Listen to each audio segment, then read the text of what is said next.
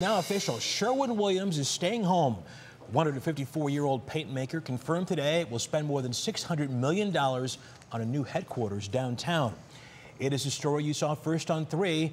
That deal also includes building a research center in Brecksville. Mark Naymik shares details about the economic impact. The announcement ends months of speculation and fear that the brand name company would leave the region, taking with it a $500 million payroll.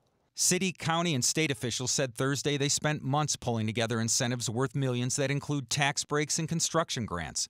Local lawmakers will reveal the details in the coming weeks as they vote on the deal. We have to keep Sherwin Williams here. It would be horrible for the county if Sherwin Williams picked up and left.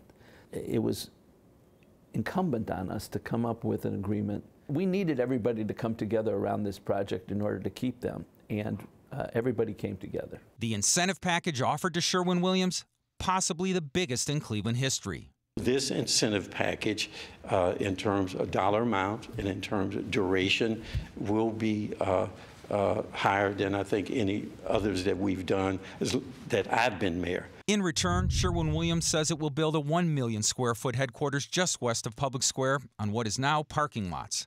The company will also build a 500,000 square foot research and development center in Brecksville on the site of the former Veterans Hospital. It's a big win for the city and the region, but Cleveland will actually lose hundreds of jobs because the current research facility is located downtown.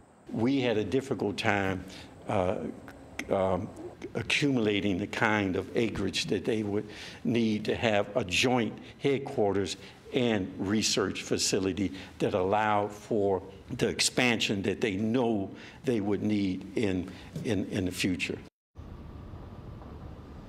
I'm standing on a key piece of real estate that unfortunately for decades has been a parking lot. This is the future home of Sherwin-Williams' new headquarters and it extends behind me. This, the uh, city and the company have not released plans of what it's going to look like, but the city assures us it's going to really transform downtown, blend in, and uh, construction is expected to start this summer. It won't be done until 2023.